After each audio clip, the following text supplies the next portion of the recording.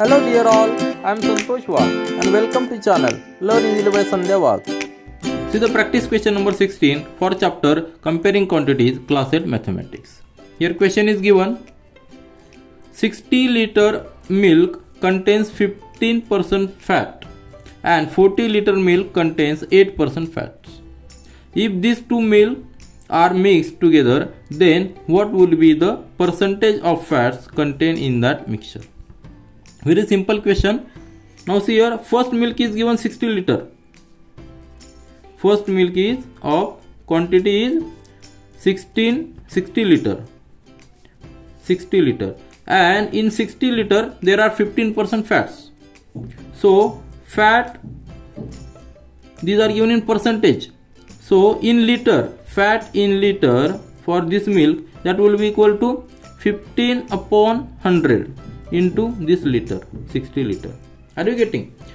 Meaning of 15% means meaning of 15% means it is in 100 if milk is 100 liter then it contains 15 liter of fat.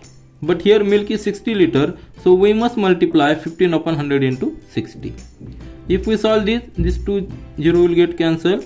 15 into 6 90 upon 10 that is 9 so 9 liter is the fat contents for 60 liter milk.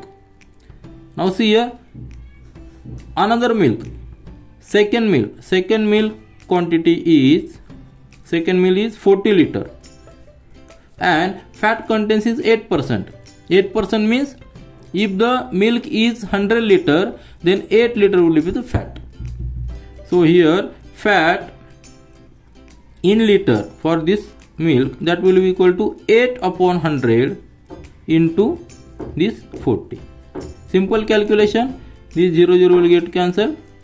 8 into 4 32 upon 10 32 upon 10 that will be 3 upon 2 liter. So we got the fat contents in liters for both milk.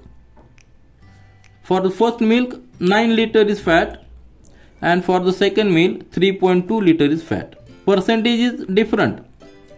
For second meal percentage is 8% but in liter it is 3.2 and for the first milk percentage is here percentage is 15% but liter is 9 liter so mix if we mix the two milk so total milk total milk when we mix it that will be 60 liter plus 40 liter that will be equal to 100 liter isn't it?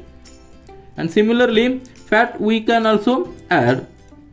So fat fat total fat that in liter that will equal to 9 liter plus 3.2 liter that will equal to 12.2 liter. Now see here what is asked? Percentage of fats percentage of fats is asked percentage means if the milk is 100 then what will be the quantity? Here already milk is 100 liter. It contains 12.2 liter fat. Though it is in liter and in percentage that will be the same. So 12.2 it will be the again in percentage. So our answer is 12.2 percentage of fat if the if we add the milk together we will get 12.2 percentage of fat and liter in also we will get 12.2 liter of fat. This is all for this video. Thank you